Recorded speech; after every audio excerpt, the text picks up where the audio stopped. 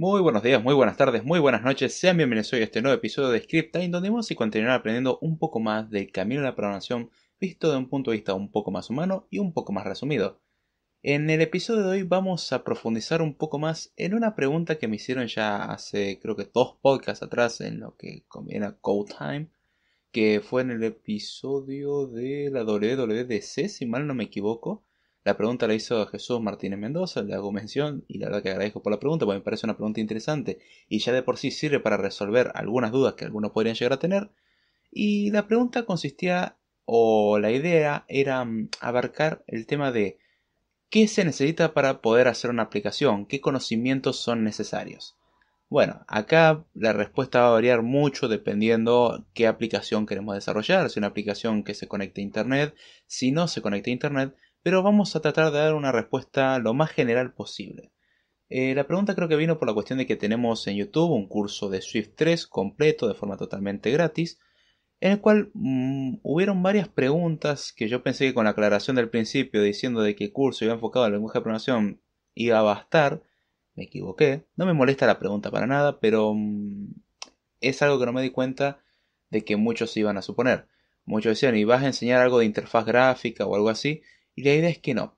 Así que bien, vamos a suponer una aplicación para un dispositivo móvil, en este caso vale más o menos lo mismo para una aplicación de computadoras, pero en el caso de una aplicación, un dispositivo móvil tiene la característica de tener interfaz gráfica de usuario y no una interfaz en base a texto, o por lo menos uno se esperaría de eso.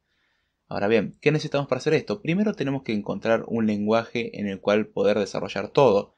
En el caso de, por ejemplo, iOS, el lenguaje que Apple está recomendando hoy en día es el uso de Swift, que es su propio lenguaje.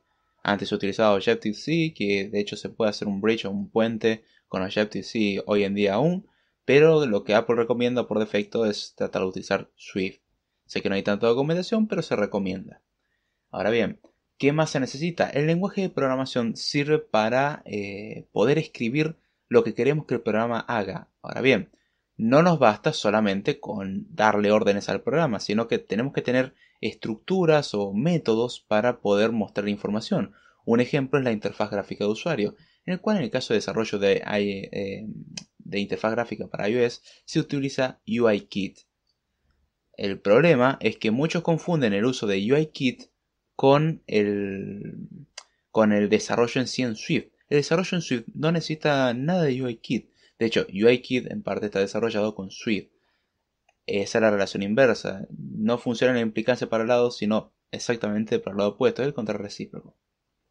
Ahora bien, ¿qué necesitamos entonces? Un lenguaje con el cual expresar todo lo que vamos a realizar y luego distintas estructuras, frameworks y librerías que vamos a utilizar para conectarlas entre sí y utilizando el lenguaje base que aprendimos vamos a poder expresar nuestro programa. Por ejemplo, Podemos tener una aplicación simple que nos diga el estado de la batería. Por alguna razón queremos una aplicación que nos diga el porcentaje de la batería y estime si es bajo, medio, alto y si, por ejemplo, comparado a veces anteriores, la batería se descargó más rápido o más despacio. Una aplicación bastante simple, relativamente simple de desarrollar.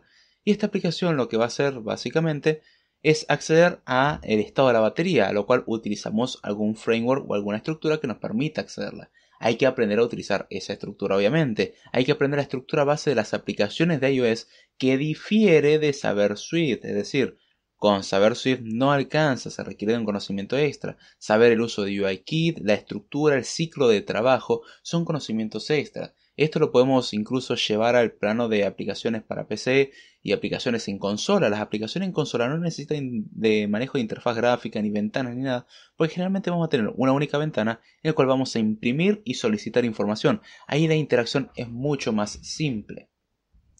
Ahora bien, entonces, si ya tenemos las librerías y los lenguajes, ¿qué más necesitamos? El conocimiento extra. ¿Cuál es el conocimiento extra?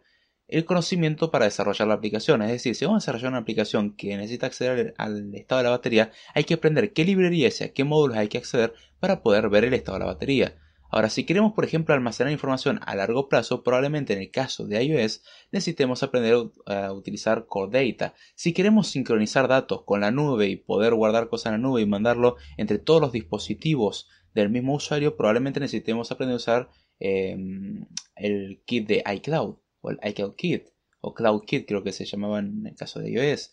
Después si queremos, por ejemplo, eh, tener interacción con sistemas de salud, eh, utilizar HealthKit o con domótica, tenemos HomeKit y así, o queremos que interactúe con Siri, hay que aprender a utilizar SiriKit, son distintos frameworks, pero son agregados que uno va a tener que aprender. Si uno quiere crear una aplicación que accede a Internet, va a necesitar entender justamente cómo funciona la interacción, el que las cosas van a ser asíncronas, el que las cosas van a ser concurrentes, cómo manejar problemas de concurrencia, cuestión de que cuando responda o no traemos la aplicación, son distintos aspectos a tener en cuenta, pero eso depende mucho del target o a dónde estamos apuntando.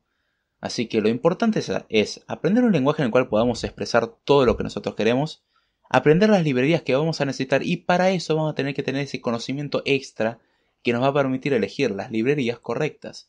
Hay lenguajes que están más, más, enfocados a una cosa que a otra. Por ejemplo, Swift es un lenguaje de propósito general. Ahora podemos tener un intérprete de funciones recursivas de lista, que sé que eso el 90% de los desarrolladores no saben ni siquiera qué es, lamentablemente, es una forma de modelar información, y las funciones recursivas listas probablemente no tengan mucha utilidad como lenguaje para trabajar, a pesar de que tiene el mismo poder expresivo que lo que puede hacer con una máquina de Turing o con una función recursiva, lo cual significa que puede hacer cualquier cosa que pueda hacer una computadora, básicamente, y aún así la mayoría no le va a encontrar una utilidad.